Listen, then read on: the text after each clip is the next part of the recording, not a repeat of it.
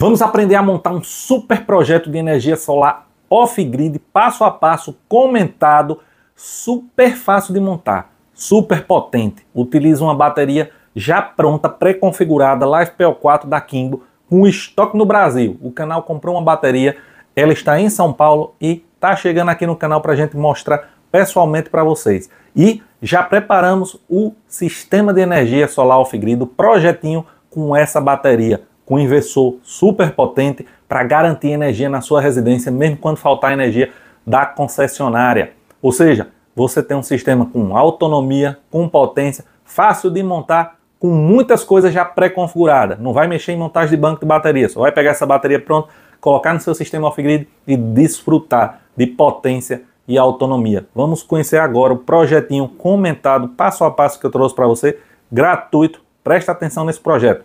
Mas antes, só quero te avisar que já tem o vencedor do sorteio da estação EB3A e a placa PV120 que foi aí oferecido para Bluetooth para os membros do canal. O vencedor foi o usuário arroba misa2471, uma centena 417, que foi a mais próxima aí, conforme Loteria Federal. Ele tem que entrar em contato aqui e mandar os dados para o canal para a gente passar para o e enviar uma estação e uma placa PV120 de forma gratuita aí para um amigo membro do canal. E o sorteio dessa daqui, ó, é B55, já abriu, já pode escolher a centena.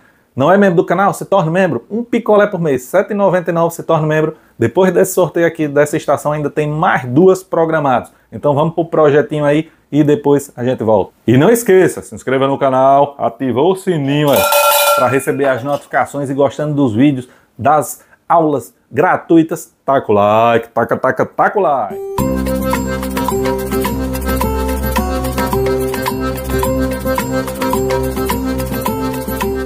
Vamos lá, pessoal, trazendo aí para vocês mais um diagrama de um sistema de energia solar off-grid potente, é robusto e fácil. O foco desse projetinho que eu trouxe para vocês foi potência e facilidade. Ele não requer muitas configurações, traz componentes que já elimina várias etapas de montagem e etapas de configuração. Muito simples e muito potente, aí bem eficiente esse sistema para vocês.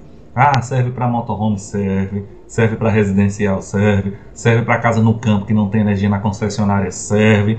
É, se não tiver concessionária e você não quiser fazer essa automação aqui, eu vou mostrar para vocês, a gente já elimina e consiste basicamente em um sistema que tem uma bateria já montada, LiFePO4, com BMS configurada, tudo configurado, você não vai mexer em nada, nem vai fazer a montagem do banco de bateria LiFePO4, nem vai configurar. Porém, se você disser, Tarcísio, eu não quero usar essa bateria pronta aqui, que é uma da Kimbo de 24 volts 100 amperes, e quero montar meu banco de baterias LiFePO4 8S com minha BMS. Posso? Pode. Só vai, você vai fazer a montagem individualmente e vai conectar no local onde está essa pronta.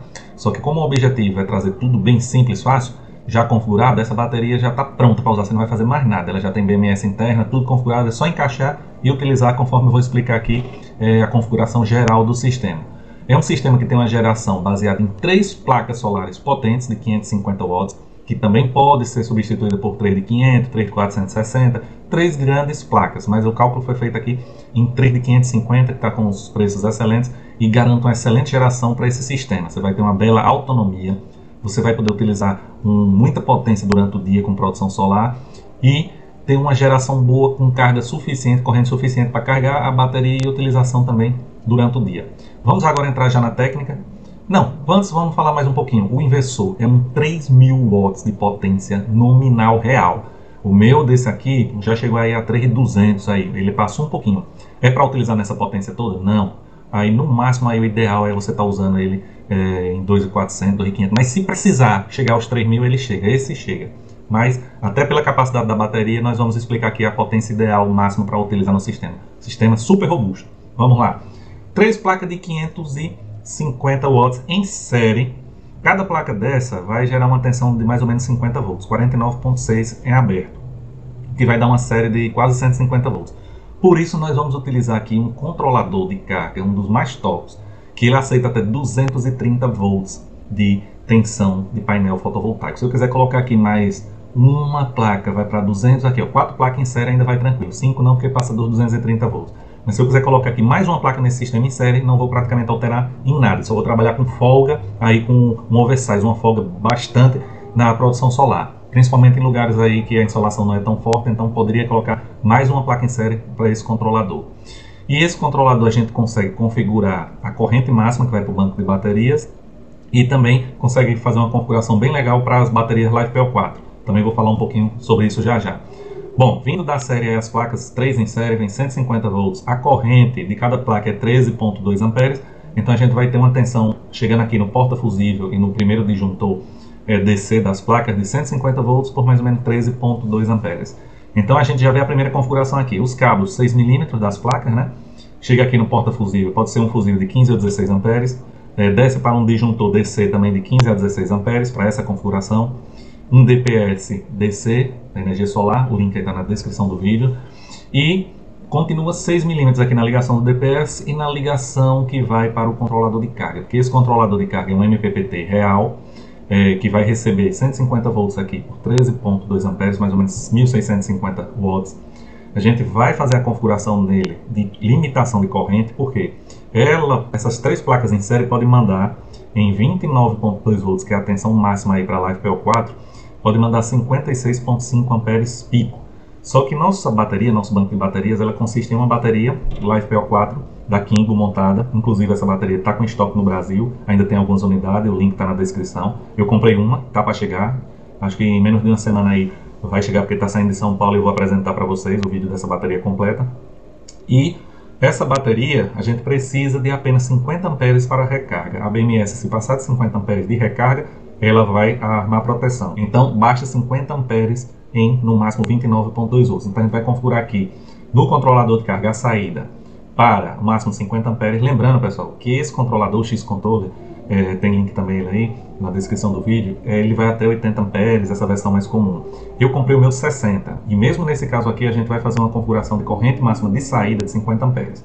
Então ele vai estar tá mandando aí quase a potência máxima das placas. A placa vai trabalhar com um oversize pouco, aí é, com a capacidade de gerar 56, mas a gente vai limitar a 50 aqui para a bateria trabalhar na carga máxima de 50 amperes. E aí vai estar tá bem tranquilo. Dando uma revisada aqui de volta, chegou 6mm aqui na entrada do controlador, a saída do cabo até o barramento. Aqui a gente vai ter uma limitação de 50 amperes, então cabo de 16mm na saída desse controlador o disjuntor, você pode comprar um tripolar de 80 amperes, porque se você comprar o, o, o, MPPT no modelo de 80, compra o disjuntor de 80. Se comprar o MPPT, o modelo de saída máxima de 60, então compra o disjuntor de 60. Que ele não vai sair mais do que isso, então você está casando certinho aqui o disjuntor com a saída do controlador de carga, 60 amperes DC. E o tripolar você já sabe, né? É, sempre sobra um polo aqui e para proteção a gente pode pegar o fio positivo ou negativo aqui da string e antes de vir aqui para a entrada do porta fusível, passar primeiro por esse polo que está sobrando, ou por cima ou por baixo. Vem para cá, tira esse fio daqui, da saída da placa que vem para o porta fusível, bota aqui na entrada do tripolar e a saída dele volta e vai lá para o disjuntor. Por quê? Porque se desligar aqui o, o, disjuntor do MPPT, ele também corta automaticamente a tensão da placa. Esse disjuntor não é calculado para proteger por corrente aqui a placa. Quem vai proteger é o fusível e o disjuntor das placas. É simplesmente para cortar a tensão das placas ao MPPT, caso desligue aí o disjuntor que é alimentado pelo banco de baterias, que liga o MPPT ao banco de baterias. Então, sistema de proteção criado aqui pelo canal, fomos nós que criamos para os amigos aí do off-grid esse sisteminha que usa um tripolar na saída do MPPT. Continuando, pessoal, o fio já na saída aqui, como eu tinha falado, até o barramento foi o de 16mm, que garanta aí os, no mínimo 50 amperes que a gente precisa para carregar essa bateria ou esse banco de baterias LiFePO4. O disjuntor aqui da saída do banco de baterias pode ser um de 100 ou 125 amperes, vou dizer porque vai proteger não de sobrecorrente, mas de curto-circuito. Até porque a gente pode dobrar essa bateria, botar ela outra em paralelo e aí não comprometer aqui a proteção. Um disjuntor de 100 a 125 amperes vai atender perfeitamente essa função. O fio que sai da bateria, passa pelo disjuntor e vai até o barramento, já é no mínimo aí um de 35 mm, entre 25 a 35 mm, ideal pelo menos 35 para chegar aqui no barramento. E do barramento ao inversor também 35 milímetros é a bitola desse cabo para essa grande potência. Esse fio aqui que alimenta a tensão de referência da chave ATS, que é a nossa automação da energia solar, que faz a comutação entre concessionária e energia solar, Esse aqui é um fio fininho, de 2,5 ele vem até aqui no barramento. Eu botei ele aqui antes, mas ele liga aqui no barramento. 2,5 milímetros, é só para fazer a medição da tensão do banco de baterias. E aí, dependendo da tensão do banco de baterias, ele vai alternar entre concessionária e é, energia solar off-grid. Por exemplo, se chegou ali é, mais de 80% de descarga, programamos aí para uns 25.5 até 25 volts a bateria, ela vai reconhecer que já chegou nos 80% de descarga e vai transferir para a concessionária. Caso não tenha concessionária, ela vai estar tá desligando o sistema para não deixar a bateria esgotar mais do que 80%. Então, esse fiozinho que sai daqui ó, é o monitor da bateria. Ele liga aqui no barramento com um cabinho fininho aí de 2,5, 2,5 milímetros. E o barramento, como eu disse, até o inversor são 35 milímetros. E esse disjuntor aqui pode utilizar a mesma corrente daqui do banco de baterias, um de 100 a 125 amperes, que é para proteção de curto. Aqui a gente adicionou três, foi um entre o MPPT e o barramento, um entre a bateria e o barramento e outro entre o barramento e o disjuntor. Por quê? Porque muita gente diz, não, eu quero desligar aqui a bateria às vezes é, com o sistema funcionando e quero só desligar a bateria, o sistema pode ficar funcionando. Depois que ele está com a tensão de referência, pessoal, ele mesmo você desconecta nessa bateria, ele pode continuar funcionando. Porém, se tiver um sombreamento e a tensão cair demais, ele perder essa tensão de referência aqui, aí ele vai desligar o sistema. Mas ele continua funcionando. Depois eu posso até mostrar para vocês o meu sistema funcionando com o banco de bateria desligado somente entre o MPPT e o inversor. E às vezes você não quer fazer manutenção no inversor, quer deixar aqui suas placas carregando o sistema, você está com o MPPT ligado, com o banco de bateria ligado, desligou só o inversor e ele continua aqui carregando a bateria, então o disjuntor aí a mais no sistema para fazer essa proteção e deixar você livre para estar tá mexendo aí no seu sistema. É um inversor de 24 volts, o sistema é 24 volts, essa bateria são 8 células aqui em série de 100 amperes então, 24 volts saída pode ser 110 ou 220 volts. A tensão de saída é você quem manda. O aterramento, tem um aterramento aqui ó, que vai para a barra, que é da carcaça, aterramento AC do sistema. E aqui a gente tem o aterramento DC para placas fotovoltaicas e o DPS aqui da entrada da tensão direto da placa. Um da estrutura passa direto para uma barra de aterramento. O outro, vindo a proteção da corrente contínua da placa, também vem se encontra aqui na barra de aterramento. E outra barra independente para o aterramento AC. Não vamos ter mais esse aterramento aqui em negativo de banco de baterias. Esse aterramento aqui das placas e do sistema DC de entrada já vai servir. E o de AC também vai complementar a segurança para a corrente alternada. O disjuntor de saída aqui é, do inversor é um disjuntor de corrente alternada. Se for para um sistema 110 volts, aí você tem um inversor que pode chegar a 3 mil watts, então você precisa é, de uma corrente aí de mais ou menos o que uns 25 amperes em 127 volts, já protege aí seu sistema de energia solar off-grid. Vamos dar uma conferida aqui? Vamos ver que 25 amperes vezes 127 volts daria até para 3.175 watts. Então, um de 25 amperes aí está tranquilo. Se fosse 220 volts, um de 16 amperes vezes 220 volts é até muito, chegou em 3.500 watts. Então, um disjuntor de 12 amperes vezes 220, 2.640. Vai ser um disjuntor na base dos 15 amperes mesmo, para proteger a saída AC. Em 220, use um de 15 amperes. Em 127 volts, aí um de 25 amperes AC na saída.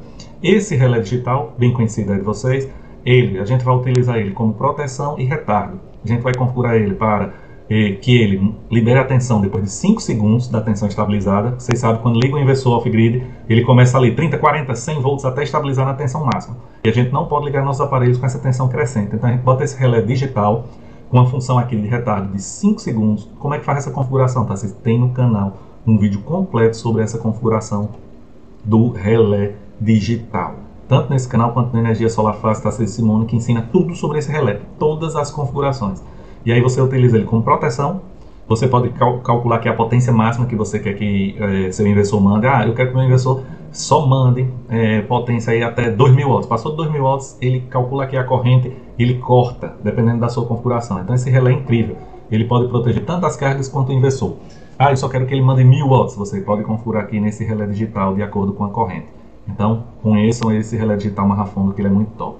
E também a função de retardo. Após 5 segundos ele abre aqui, libera a tensão para a chave ATS. E a chave ATS é a que vai fazer a comutação. Ele vai alternar entre concessionária e energia solar de acordo com a tensão aqui do banco de baterias. Só para vocês verificarem aqui um exemplo, eu coloquei aqui essa bateria da Kimbo, ela funciona, a BMS dela permite ela é, funcionar entre 20 a 29.2. 20 é a tensão de corte, quando está praticamente totalmente descarregada, e 29.2 é a tensão máxima da bateria. Aí passou disso, ela entra em proteção para proteger as células. Só que na chave ATS a gente vai é, programar uma tensão aí mais ou menos que garante que a gente só trabalha até 80% de descarga, que fica entre, é bem suave aí essa tensão, fica entre 3,18, o que daria 25,5 volts, estaria chegando aí próximo aos 80%, ou em 25 volts, que está em uma descarga aí uns 82, 83%, chegando aí a tensão da célula 3,12 volts por célula. E em 25,5 volts, é, estaria cravadinho aí mais ou menos nos 80% de descarga, chegando a cada célula a 3,18 é, volts. Aí você escolhe se quer uma, carga, uma descargazinha mais profunda ou mais suave. Eu trabalho com a mais suave, descarregando até 25,5, mais ou menos 3,18 por célula, que dá 80%. Trabalho para durar muito minhas células. É mais ou menos isso. É, agora vamos falar um pouquinho dessa bateria. Como eu disse, é uma bateria de 24 volts por 100 amperes tensão nominal 25.6, ou seja, uma bateria de 2.560 watts-hora. Você pode ligar no inversor desse que chega a 3 kW, a 3.000 watts, cargas instantâneas aí de 2.560 watts-hora, porque você vai puxar no máximo 100 amperes do banco de baterias, e passou de 100 amperes é alarma proteção. Então você sabe que com uma bateria só, você pode puxar em torno de 2.500 watts desse sistema. Então um inversor com 3.000 para trabalhar na folga. O ideal é que esse inversor trabalha em até 2.400, então 3.000 watts, um trabalhando 2.400, tá bem bacaninha para esse sistema. Sisteminha simples, não tem muita configuração, três plaquinhas em série, um MPPT top, show, as configurações dele, o que, é que você vai configurar aqui? Tensão de recarga, 14.4 volts, tensão de flutuação, 14.4, modo usuário, pronto, está configurado para LivePL 4 de uma maneira segura e top, não tem mais o que fazer. A bateria, você não montou o banco, não vai mexer em configuração do BMS, já está toda pré-configurada essa BMS, pronta para o seu sistema off-grid 24 volts 100 amperes, acabou-se.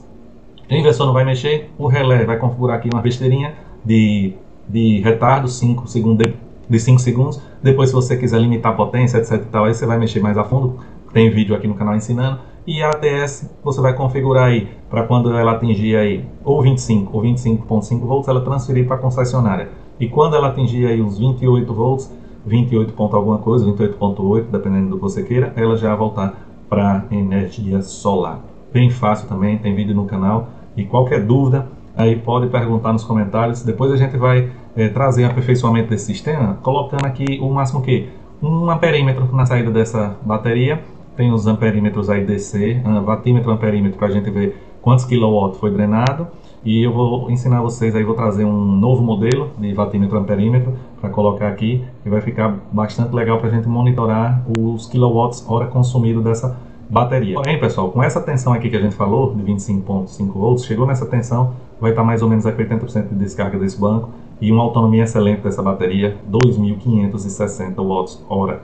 Imagine você puxando aí isso, é, 250 watts hora, sem produção solar, 10 horas de autonomia. Ah, vou puxar um pouquinho, só uma geladeirinha, cento e poucos watts, mais de 20 horas. Tudo depende da, do consumo que você tiver nesse sistema. Dúvidas aí? Pode falar nos comentários e a gente tenta responder e trazer uma complementação do vídeo. Todos os links com desconto na descrição do vídeo. Valeu!